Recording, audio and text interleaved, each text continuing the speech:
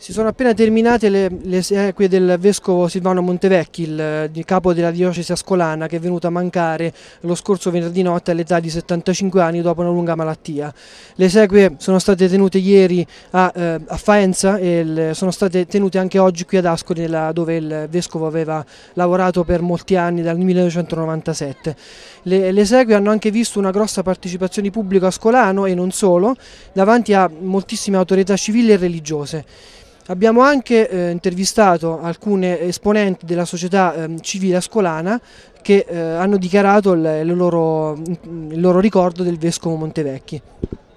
Beh, il ricordo più nitido è quando comunicai al Vescovo Montevecchi l'intenzione del Consiglio Comunale di insignire della cittadinanza onoraria ascolana proprio questo pastore che ha creato tante cose concrete e utili da un punto di vista materiale ma che ha anche sedimentato una grande cultura, un grande processo di umanizzazione del nostro territorio, un rapporto speciale fra una città, un territorio speciale e una persona straordinaria, semplice, umana, capace di grande sapienza ma anche di grandi concretezze, quindi veramente è stato un grande dono di Dio averlo avuto.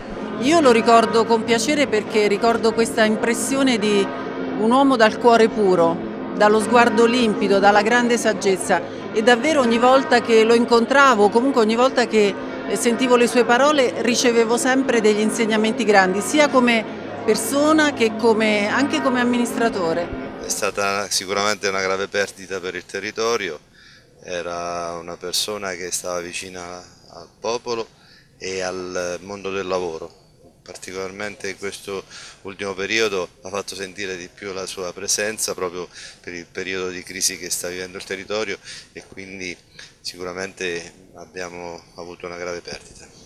Il rito funebre è stato celebrato da Monsignor Luigi Conti, amministratore della diocesi di Ascoli, presenti anche alla celebrazione i vescovi originari della diocesi. Ricordiamo che Monsignor Montevecchi è stato colpito da ictus lo scorso marzo e da lì non si è più ripreso. Gremito il Duomo anche nella scorsa notte, quando ha avuto luogo una veglia funebre che ha visto la partecipazione di alcune associazioni come l'Unitalsi. Attualmente la diocesi di Ascoli è sede vacante e si aspetta la nomina del nuovo vescovo, attesa forse per il prossimo mese di novembre.